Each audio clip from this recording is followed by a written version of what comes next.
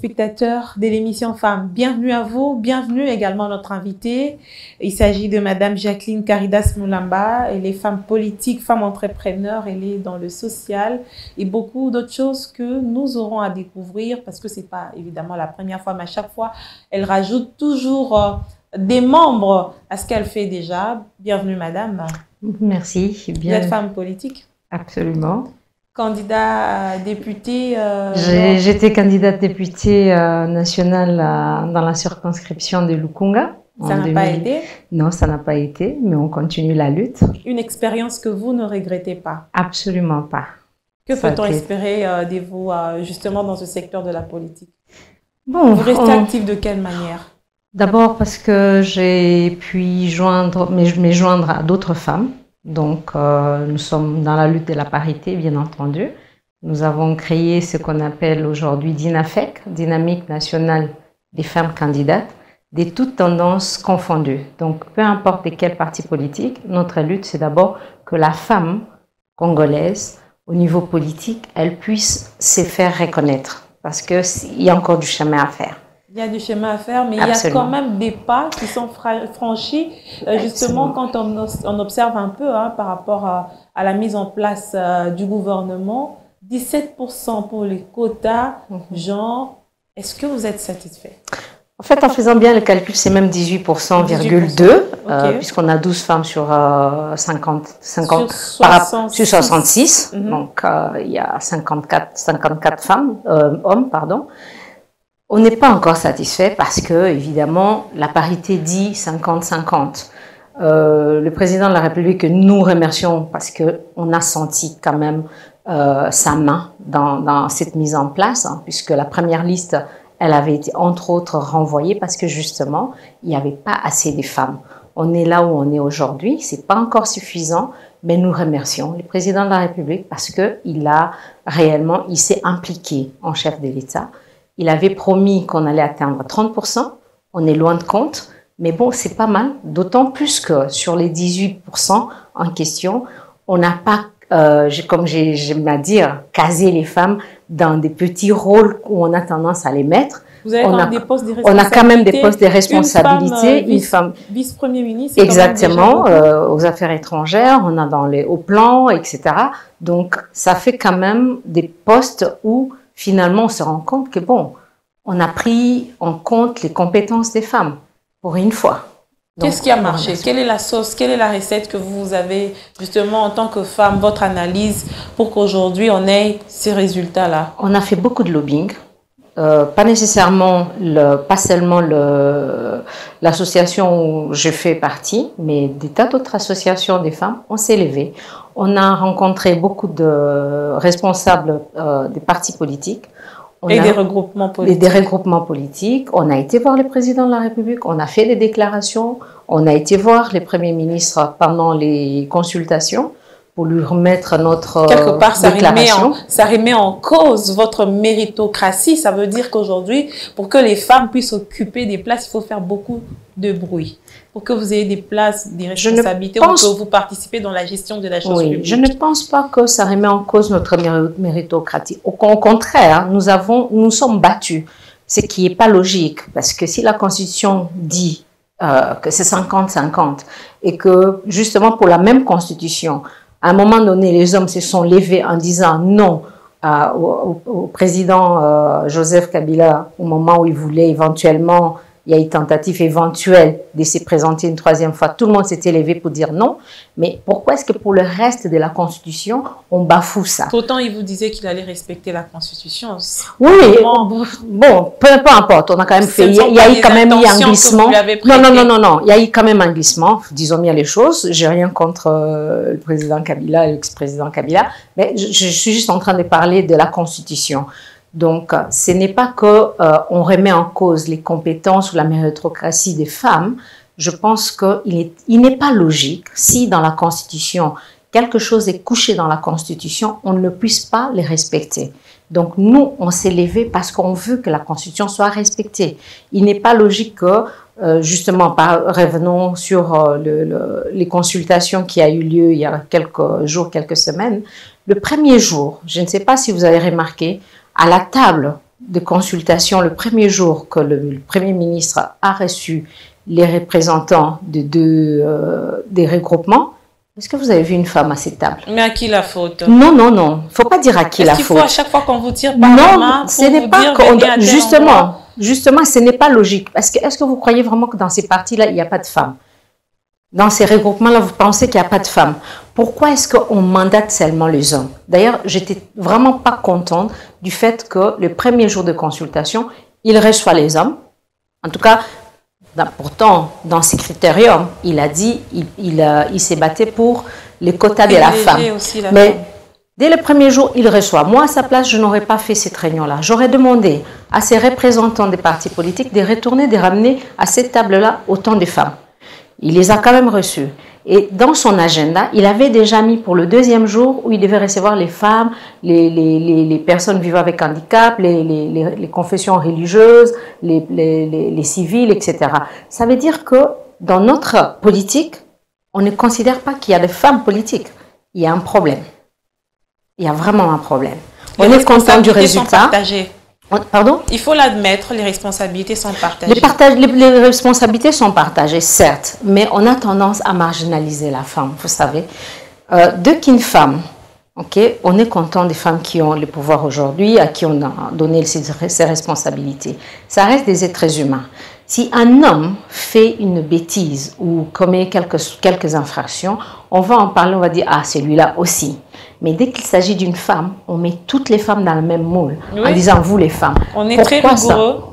Pourquoi ça on est, on, est, on est injuste vis-à-vis de la femme. On a tendance à mettre tout le monde dans le même moule. On est des êtres humains. Si une femme commet une erreur, ça ne veut pas dire que toutes les femmes sont Mais de manière générale, quand même, la situation de la femme en République démocratique du Congo augure l'espoir quand on voit euh, une femme deuxième personnalité du pays, Madame euh, Janine Mabunda, quand on voit aujourd'hui qu'il y a des femmes qui des postes de responsabilité, pas les moindres au sein du gouvernement. Espérons que ça sera aussi le cas pour les mandataires publics. J'espère que vous n'allez pas vous frotter les mains et vous oh, dire que oh non, euh, ça on va, hein, on a déjà assez de Non, non, on n'est pas satisfait. Je veux dire, on est content. Mhm. On remercie le, le, le, les chefs de l'État. De la République. Exactement, on le remercie parce qu'il a vraiment quelque part bataillé pour parce qu'on aurait pu nous dire, oui, vous avez 30%, mais on nous donne des petits, euh, des petits entre guillemets, ministères. Il n'y a pas de vrais petits ministères. Mais il y a, pas des différences entre la gestion d'une femme et la gestion d'un homme? Euh, La gestion d'une femme, moi je pars toujours de penser, pour une femme compétente et une, une femme correcte, la gestion de la femme est généralement meilleure que celle d'un homme. Vous parlez en tant qu'une experte en ressources humaines? Absolument. Si vous regardez justement puisque aujourd'hui la ressource humaine est devenue la ressource la plus importante dans, toutes les grandes entreprises. Si vous regardez, la majorité de ces postes-là sont occupés par des femmes. c'est des bons gestionnaires. Dans le secteur privé Dans le secteur privé, bien entendu. Et justement, dans notre secteur public, on devrait à un moment donné s'arrêter et de regarder qu'est-ce qui se passe dans le secteur privé. Pourquoi est-ce qu'on a des problèmes dans le public et dans le privé, ça marche? Mm-hmm on doit pouvoir travailler avec des targets. On doit avoir une structure et des, procédures et puis de respect. Aujourd'hui, on veut mettre en place, le président voudrait mettre en place la lutte contre la corruption. C'est une très bonne chose. Mais est-ce qu'il y a toutes les structures derrière, ou l'infrastructure, je dirais, pour contrôler ça? Il ne suffit pas de sortir avec un projet, il faut encore analyser le projet dans la forme, dans le fond, pardon, parce que là c'est la forme, mhm. mais dans le fond, quel est le problème? Pourquoi est-ce qu'on est dans une société avec autant de corruption aujourd'hui? Quels sont les mécanismes qu'on va mettre en place? Il suffit pas de faire des, slogans en disant on va arrêter la, corruption. éventuellement d'arrêter l'un ou l'autre. Mhm. Mais quelle est, quelle est la base? Pourquoi est-ce qu'on en est là? Quelqu'un qui touche 50 000 francs, un père de famille ou 50 dollars, vous êtes sûr qu'il peut vivre dans Kinshasa? Même, même à l'intérieur du pays Vous êtes sûr qu'il ne va pas voler Posons mieux la question. Voilà. Qui ne sera pas Donc, corrompu? euh, Voilà, c'est ça Donc, commençons par améliorer les conditions sociales de la population. Il y a beaucoup de choses. Il y a beaucoup de choses. Le, travail est énorme. Et euh, nous, en tant que femmes, on est là, que ce soit dans la politique, que ce soit dans les, dans les sociétés civiles, que ce soit euh, dans, les, dans, les, dans les institutions publiques, hein, donc dans les mandataires on aimerait bien pouvoir apporter notre expertise et notre, notre bonne volonté pour construire le pays. Ah, j'ai tout de suite envie de vous poser la question, vos ambitions politiques, jusqu'où elles pourraient euh, aller, parce que là, les échéances électorales, c'est dans cinq ans. Il n'y a pas de limite. Euh, on a un petit temps, on est en train d'analyser, on va reprendre là où on était, ou éventuellement d'autres possibilités, parce qu'aujourd'hui la situation est ceci, mais dans deux ans, dans trois ans, bon, on s'y prépare, parce qu'il ne faut pas attendre la dernière minute pour pouvoir dire, voilà, finalement, ah, je me réveille et je voudrais ceci. Non. Donc ça se prépare. Euh, première expérience, ça, ça, va, ça doit apporter de quoi nourrir la deuxième expérience. Donc, euh, Madame Jacqueline, vous êtes aussi euh, entrepreneur. Oui. avec euh, beaucoup des formations que vous donnez euh, justement aux Congolais. Dans quel domaine exactement? Bon, j'ai une entreprise qui dispense toutes sortes de formations, mais moi personnellement, mes domaines d'expertise, c'est la gestion des ressources humaines, la gestion des transports et logistique, d'entreprise, la gestion de la qualité, et puis tout ce qui est audit interne quand on parle d'audit, les gens voient toujours l'argent. L'audit interne n'a rien à voir avec l'argent. Je ne suis pas un auditeur financier. L'audit interne, une oui, exactement. C'est on a fait, on a mis des procédures et on vient contrôler si ces procédures justement sont euh, suivies. Et euh, dans la gestion de la qualité, donc euh, casquette juste avant, dans cette expertise-là, je suis à mesure non seulement de communiquer, de former, mais aussi d'accompagner les entreprises qui veulent se certifier dans tout ce qui est qualité, donc dans les normes standards ISO, mhm. ISO 9001, ISO euh, ou OSAS 18001. Euh, Ça veut dire que toute la mise en place des procédures, je m'aimerais bien d'ailleurs profiter et dire au président de la République, j'aimerais bien qu'il puisse justement avoir cette idée de mettre des procédures en place, hein, des qualités. Donc, euh, j'aimerais bien pouvoir le Qui puisse, euh, vous êtes euh, disponible pour apporter votre expertise dans ce domaine-là parce que justement, aujourd'hui, on est en train de décrier beaucoup de choses, mais qu'est-ce que nous nous présentons aux autres? Avec quelle qualité? Ça, c'est un problème. Exactement. C'est un problème. Oui. Bon, si on prend par exemple dans nos institutions, quelles qu'ils soient, que ce soit la présidence ou bien dans les organisations publiques, etc., ou dans les ministères, vous allez vous rendre compte qu'il n'y a pas de respect des procédures. Les, procédures ne sont pas connues. Chacun vient, il invente son histoire. Euh, vous allez chercher un document, il y en a un qui vous dit il faut payer ceci, il faut faire ça. Les documents ou les, les, les, les courriers se perdent. Je vous donne un exemple. Dans l'entreprise où je travaillais, on a écrit au président de la République. À ce jour, on n'a jamais reçu une réponse. Je ne dis pas qu'il l'a il a lu, il l'a mis de côté. As-tu réellement reçu? Reçu, oui. Ça, c'est une question. Donc, euh, ces domaines de, gestion de la qualité, justement, c'est la, traçabilité. La traçabilité des dossiers ou des projets. On doit pouvoir, pour revenir à la, lutte contre la corruption, c'est aussi une, une partie. C'est si on est euh, les institutions, les, les, ministères ou même la présidence est accessible à toute personne pas, ça veut dire euh, vous arrivez, vous entrez comme vous voulez, non. Mais avoir peut-être un, un, aussi non plus. Hein. Oui, oui, non, savoir un portal, comme on dit en brésilien, ça veut dire avoir un, un site où les gens peuvent faire leurs soumissions, soit écrire, soit envoyer des projets, et ils ont un numéro et ces, ces projets est suivi. À tout moment, c'est comme un tableau de bord. Ça permettra même au président de savoir, OK, on a combien de projets en cours ou dans un ministère, un ministre peut se dire, OK, on a reçu combien de dossiers? Et à tout moment, en faisant juste un bête clic, il doit pouvoir dire, OK, les dossiers se trouvent dans le bureau d'un tel. J'ose espérer, dans le, les cinq, je crois, hein, euh, les conseillers spéciaux Migisha, Dominique Migisha, il a apporté, je crois, un, draft sur euh, la numérisation. Oui. Et euh, j'ose espérer que, justement, dans ça, ça en ferait partie. Ça, ça fait partie de mes, de mes compétences. Ça nous fiabilise et ça nous donne une certaine... Euh, Exactement. Aujourd'hui, si vous voulez verbaliser quelqu'un, s'il vous a fui, vous ne savez pas le retrouver. Il n'y a pas de traçabilité. Il n'y a pas de registre de personnes euh, physiques. Donc, c'est compliqué. Très compliqué.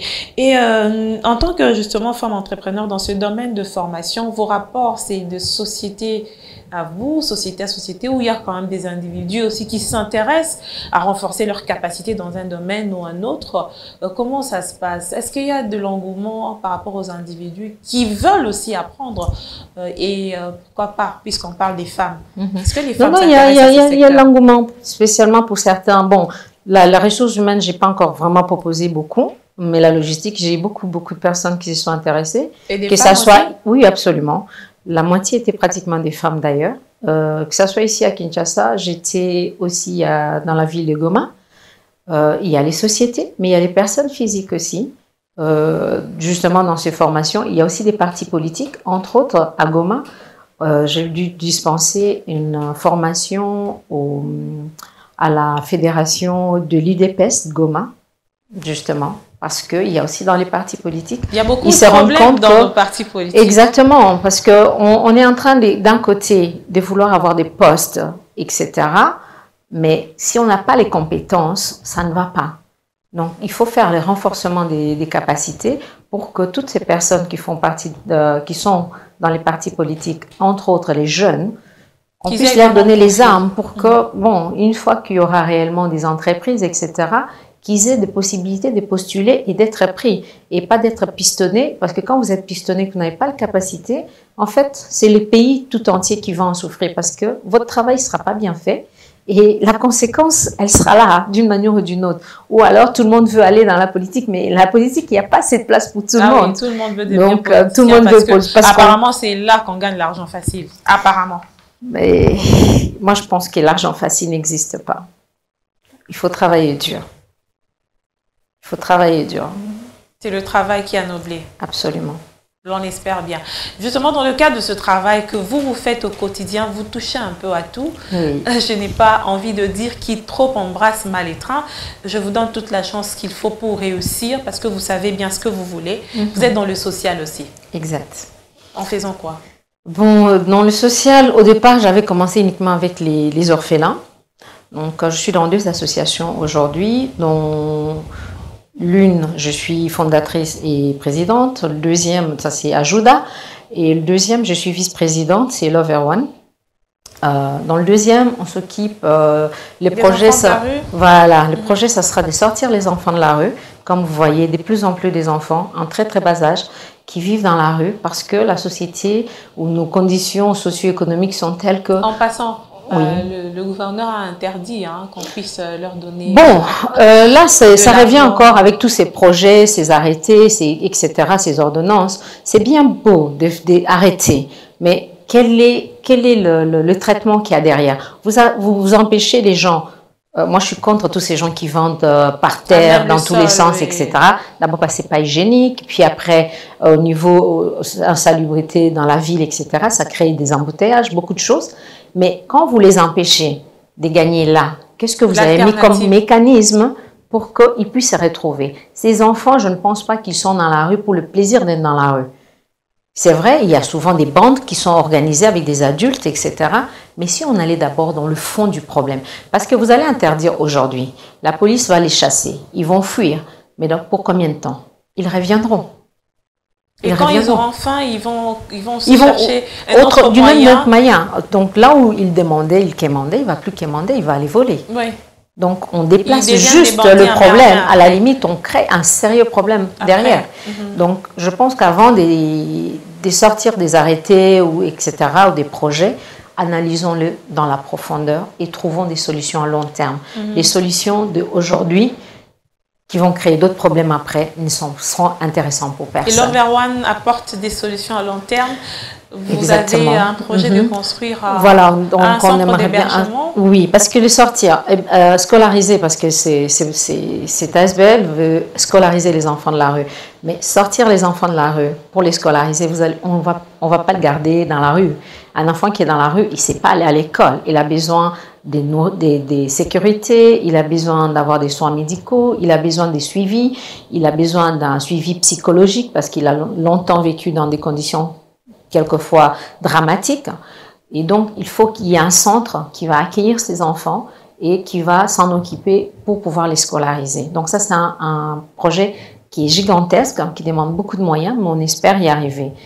De l'autre côté, à Jouda, comme je disais, donc euh, on s'occupe des orphelins. Euh, on a plusieurs orphelinats partenaires où on vient, on participe, etc. On s'occupe aussi de la jeunesse hein, dans les formations justement. On essaye d'encadrer parce que la jeunesse c'est notre futur. Si mhm. on la laisse, ben on ne sait pas vers où on va. Et puis il y a la partie le femme, hein, donc euh,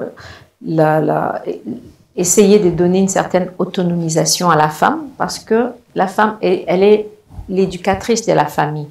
Quand elle n'a pas du tout de moyens, c'est très compliqué. Mais le peu qu'on peut lui donner, ça lui permet ne fût-ce que de faire nourrir les enfants. Donc euh, voilà, ça c'est le côté social. Et bon, toujours dans le côté social, justement, on est en train d'ouvrir une, euh, une mutuelle de santé. Bien sûr, une mutuelle de santé qui ne s'occupera pas que des personnes défavorisées, mais c'est sans distinction à toutes les couches des populations. Donc, Ici à Kinshasa? Euh, on va arriver à Kinshasa, mais on, va, on est en train de commencer d'abord au Nord Kivu parce qu'il y a, une, parce qu'il y a une, simplement une très très grande demande à Goma. Euh, même le gouverneur euh, du Nord Kivu va nous accompagner. Euh, il est, il était parce que vous avez une ouverture euh, du côté ben, politique. Disons, non, pas du tout. Ça, ça c'est venu par la suite. Le projet était déjà en cours quand on l'a rencontré, on a discuté avec, et il a trouvé c'était une très bonne chose pour la population. Donc, euh, on est en train de mettre cette mutuelle. Vous savez, quand vous proposez 10 dollars des cotisations mensuelles, qui va prendre 4 personnes en charge, ça donne quand même la possibilité quasi à toute la couche des populations de pouvoir avoir des soins de santé de qualité suivis par un médecin conseil. Ok, Et ça, euh, je pense pas qu'il y a beaucoup qui le donnent, à part peut-être euh, l'Église catholique, hein, parce qu'il y a déjà quelques mutuelles, bien sûr, sur oui, le. sur quelques mutuelles, les enseignants mhm. aussi ont leur mutuelle. Voilà. Euh, Nous, on est ouvert pour tout le monde. Des modèles qui donc, euh, exactement, on est ouvert pour tout le monde, que ce soit les entreprises, que ce soit les personnes œuvrant dans les institutions publiques, comme les personnes physiques. Ça veut dire, Madame Feza prend une, une, souscription. une souscription pour sa famille mais elle a aussi des personnes qui travaillent chez elle à la maison, au lieu qu'elle ait des surprises. De temps en temps, vous le savez, les personnels euh, à, la, maison, il y a toujours, euh, j'ai un, oui, j'ai un enfant malade, etc., etc.